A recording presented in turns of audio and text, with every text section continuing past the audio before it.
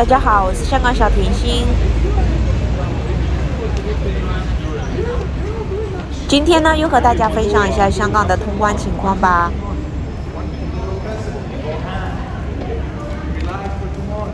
这里呢是在香港的尖沙咀地铁站，人流量比较密集啊，人山人海的感觉。香港呢现在已经全面开放了啊，过关香港免隔离、免核酸检测了啊。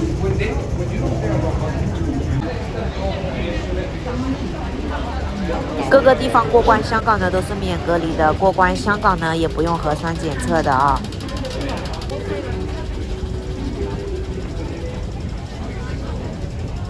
现在呢，终于有好消息了啊！一月份开始呢，香港和内地呢免检疫通关了啊。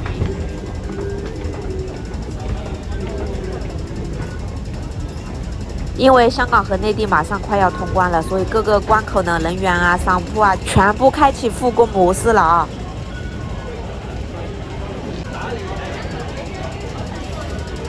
现在深圳湾口岸过关名额呢，每天已经增加到三千五百个名额了啊！但是呢，预约的人却越来越少了。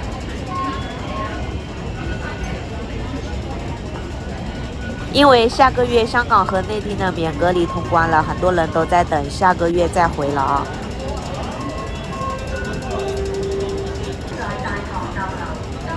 因为核酸检测报告加五天的隔离啊，加餐费啊，也是要好几千呢。大家呢都不想浪费钱。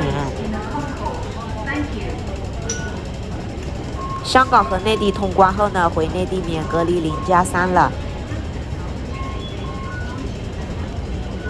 回去呢不用酒店隔离了，只要居家休息或者是不要去人多密集的地方就行了。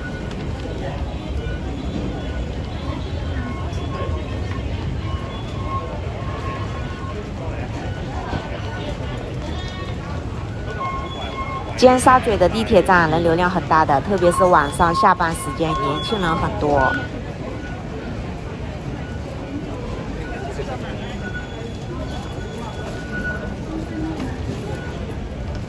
大家都下班了吗？都回去回去了吗？准备坐车回去了。大家发现没有，在香港的街头啊，大家穿衣风格都是比较休闲的啊，你看。大家都喜欢穿运动鞋，然后呢，衣服呢都穿卫衣啊，运动运动型的啊，休闲型的啊，主要以舒服为主啊，以舒适、休闲、舒适为主啊。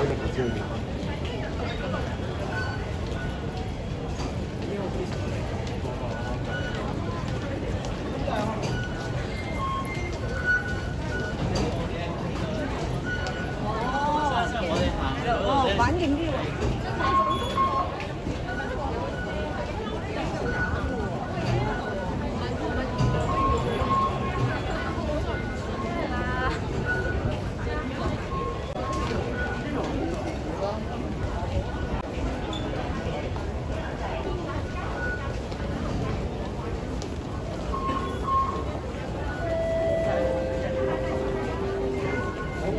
覺得自己犀利，型好強。點解可以？點解可以？